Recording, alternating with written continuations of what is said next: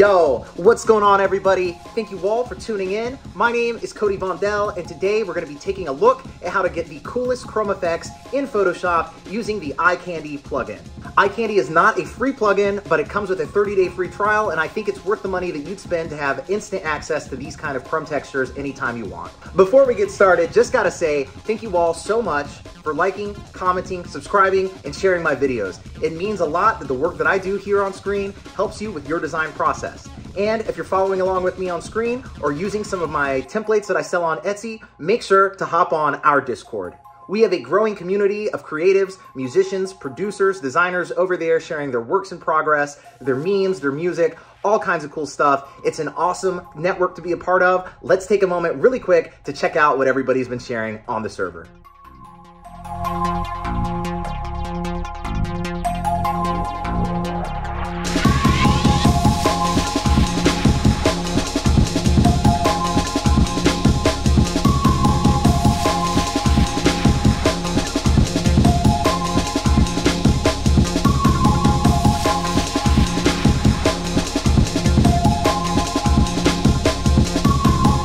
Always, you guys are crushing it, and I greatly appreciate you being on the server, sharing what you're working on, and if you're not over there already, I hope to see you there soon. If you want to support my channel and get yourself some really cool merchandise and some graphic design templates, make sure to hop on my Etsy.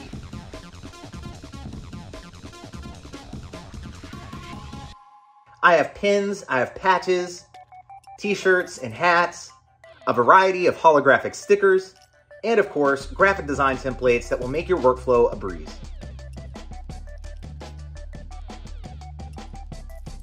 And if you like my intro, outro, background music, I create it all. Just search Cody Vondell on Spotify or your preferred streaming service, and you can also find me on SoundCloud and Bandcamp. And of course, at Cody Vondell on TikTok, Twitter, Instagram, and all that. With all that being said, let's hop on screen and start adding some chrome texture to some of our type. All right, so here are a bunch of logos that I've created in Illustrator, and we're gonna go ahead and start with Eye Candy since that's the name of the plugin. Bring it over here into Photoshop and delete the white part of the logo so that this layer is all one color.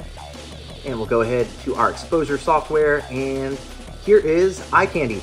As you can see, we have the bevel width, height, smoothness, round corners, all that stuff.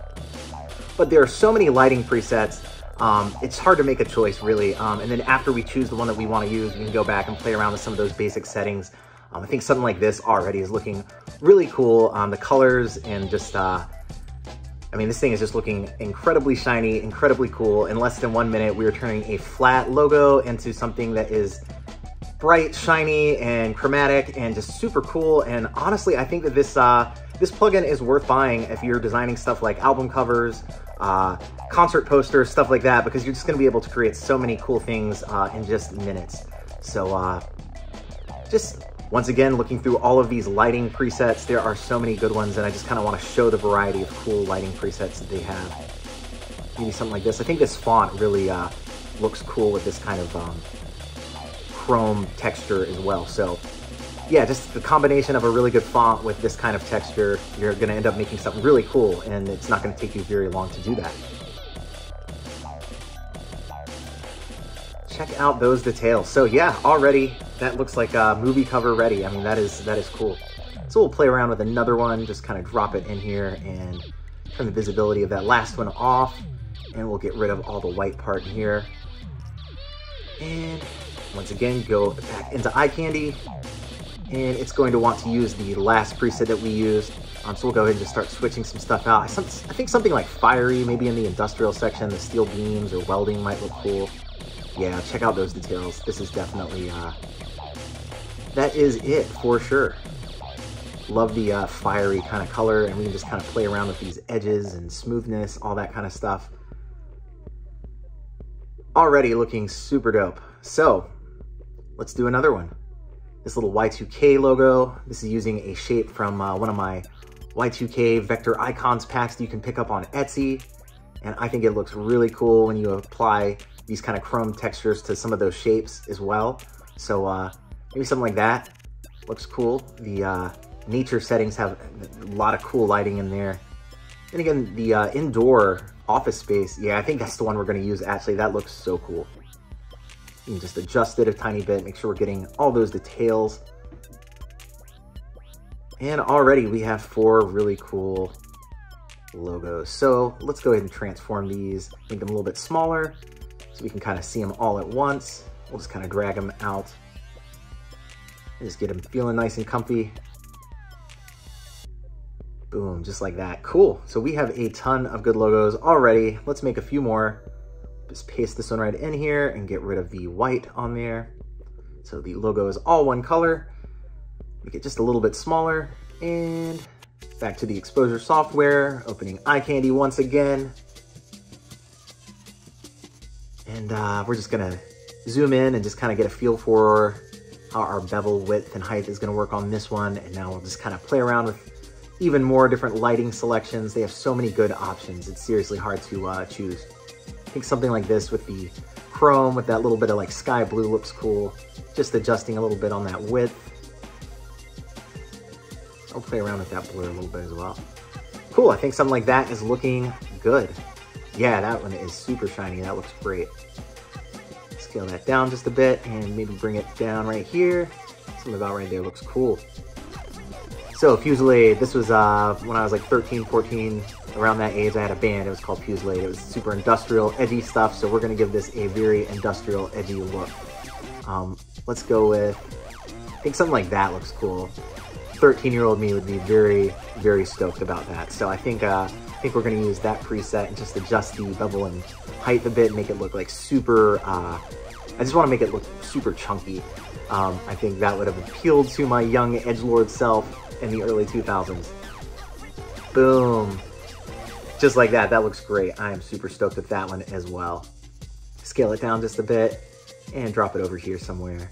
Maybe we can uh, just adjust these a tiny bit, put them in some different places. Oops, there we go. Something like that.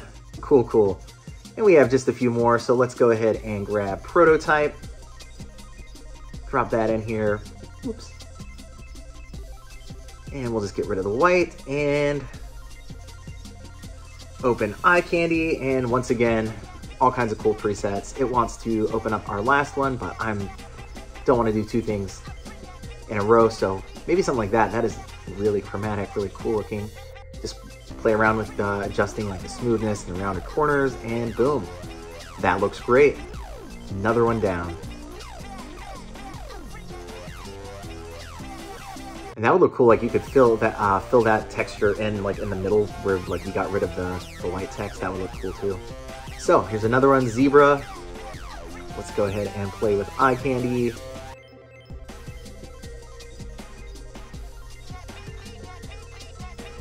maybe something like this. I think that's really close to one that we've already done, but maybe if we just adjust the, uh, something like that. I don't know. That one's incredibly chromatic as well. That looks pretty cool. That's why I think something like that is gonna be, yeah, that looks awesome.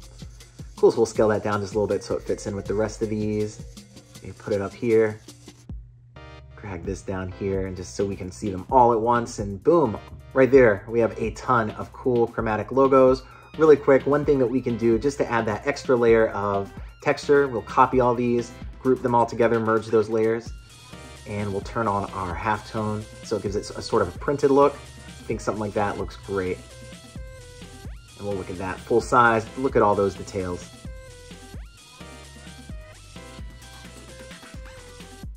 So just like that, you can download this awesome plugin and start applying these unique chrome textures to any of your logo, your type work, just like that. Before you go, make sure to hit the subscribe button. I have a ton of fun content that you do not want to miss out on. And if you want to check out some of my recent work, I just did a video breaking down the logo that I just created for Virtua 94 using my brand new typeface called Googie. I just did a brand new video breaking down the process that I went through creating my brand new free font.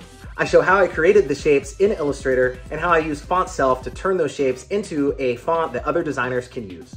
I did a quick video on adding motion to your Photoshop compositions, and I also did a quick After Effects tutorial on the handwritten and shine across glint effect that I use on Lil Nas X's Panini. And of course, I added another episode to the best fonts for Y2K aesthetic series.